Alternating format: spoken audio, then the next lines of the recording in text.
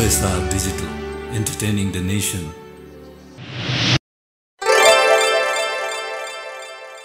जय भने हजुर। गाई जात्रामा यसो केही सुनाऊ कि भनेर आएको। सुनाऊ है हजुर। बिरह छ। रमाइलो छैन क्या रे ए नानी ल है। ए यता हेर। ग्यासको लाइन उता मोटी तेलमा। सरकार पनि लाग्यो हुजुर कमिसनको खेलमा। अन्तरेलाई पठाएको नेता बनाएर सदनभित्रै सुत्छ अरे लुतो कनाएर जतातिर मकै पाक्यो उतै बाँदर नाच्यो ठुल्कान्छाले रिसाएर दुईटा कुर्ची भाँच्यो। जसले जसले अंश बन्दा गर्छु भन्छ देशको इतिहासले सराप्ने छ भलो हुन्न त्यसको। कि अर्काले भने मान्नु कि त आफूले जान्नु होइन भने आफन्तको खुट्टा किन तान्नु? चाइना हेर्नुहोस् भारत हेर्नुहोस् कत्रो विकास भएको। हाम्रा चाहिँले मिली मिली किन काटो खाएको? डाँडा काँडा बन पाखा जोडे हजुर बाले नातिहरू बाठा भए आँगन बाँड्न थाले। उसले उसलाई आँखा तर्छ उसले उसलाई तर्छ। यस्तै हुँदै गयो भने कुन एउटा मर्छ। कताबाट को आएर के गरेर गयो? लौन हुजुर भाइ भाइको लडाइँ हुने भयो। कति बिके भन्न पाका कति बिके खोला। भाइ फुटे गवार लुटे भने जस्तै होला। अमेरिकनले बेलायती काम मात्रै गर्छन्। हाम्रा नेताहरूले चाहिँ आफ्नै भुँडी भर्छन्। दुई हजार बहत्तर साल वैशाखको महिना बाह्र गते धरती हल्ल्यो नलन्ने कोही छैन। तेह्र गते मिस्कल दिँदै फेरि हल्लाउँदै आयो। उन्तिस गते रका भका त्यसलाई पनि खायो। देशैभरि अन्धकार प्रलय नै आयो। जनधन वस्तु सबै धरोहर खायो। हे कुन पापीको आँखा लाग्यो?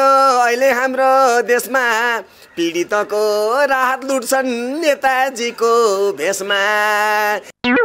हे नरमाइलो ए जनता वैशाखको महिना त्रिपाल मुनि ए जनता एउटा घर छैन हे छानी छानी देशै हल्लायो। बाह्र गते बाह्र बजे शनिबारको दिनमा सातो उडायो। बाह्र गते बाह्र बजे शनिबारको दिनमा सातो उडायो। सातो उडायो सातो उडायो।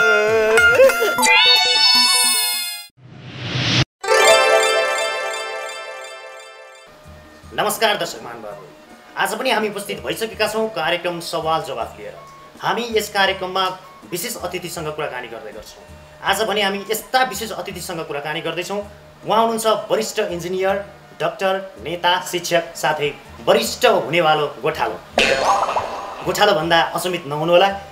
डाक्टर बाबुराम भट्टराईले गोर्खामा बाख्रा पाल्नको निमित्त खोर बनाइसक्नु भएको छ। त्यसकारण गोठालो भनिएको हो। असमित नहुनुहोला। यहाँलाई कार्यक्रममा स्वागत छ।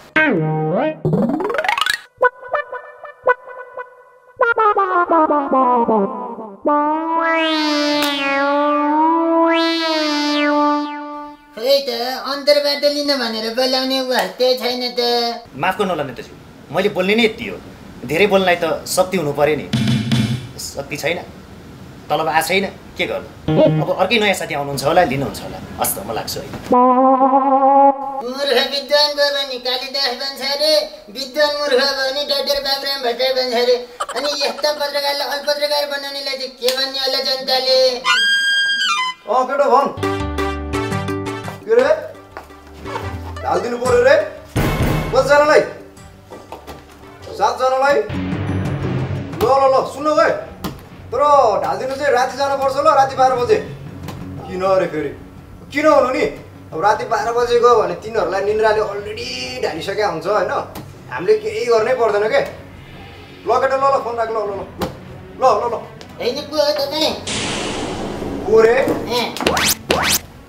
Done done. डन? सुन त सबै डनहरू पार्टीहरूमा प्रवेश गरेको थियो। होइन अझै बाँकी रहेछन् होइन कस्तो खालको डन तपाईँ म चट चट काट्ने खालको डन मान्छे हेर्दाखेरि हुटिट्याउ जस्तो छ डन पो भन्छ त भने म एक दिन जङ्गलमा टक टक गइरहेको थिएँ होइन टक्क मेरो अगाडि एउटा बाघ आयो। त्यो बाघको अगाडिको दुईवटा खुट्टा र पछाडिको दुईवटा खुट्टा। चाट चाट छिनाएको त्यस्तो खाले डन। खुट्टा मात्रै अनि टाउको चाहिँ किन नकाट्या त? टाउको त काट्नु हुन्थ्यो नि के गर्नु? अर्कैले छिनाइसकेको रहेछ नि। मासु पसलकै सब्जी पो रहेछ त। अहिलेको पत्रकार छ नि त्यसको तलब रोकेको मैले हो। तर फिफ्टी पर्सेन्ट मात्रै है। फिफ्टी पर्सेन्ट चाहिँ त्यसकै हाकिमले रोक्यो। खोइ त अन्तर्वार्ता लिन अर्को मान्छे आउँछ भन्थ्यो अहिलेसम्म आएन त। किन तनाव लिइरहनु भएको तपाईँले? तपाईँ नेता म डन। तपाईँ हामी भनेको त नङ्ग्रो मासु जस्तो सम्बन्ध छ नि हाम्रो त। त्यो अहिलेको पत्रकार छ नि त्यसले कम्ता खोइरहन्छ हाम्रो।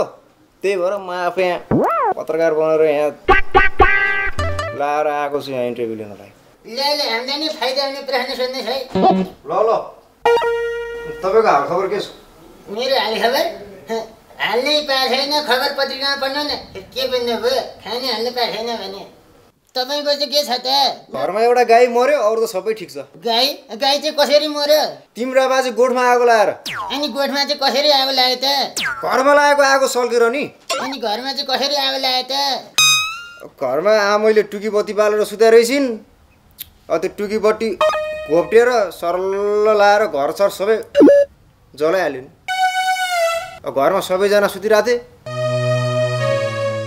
गाई मात्रै भने त पुरै सहाबे पो भएर छ त।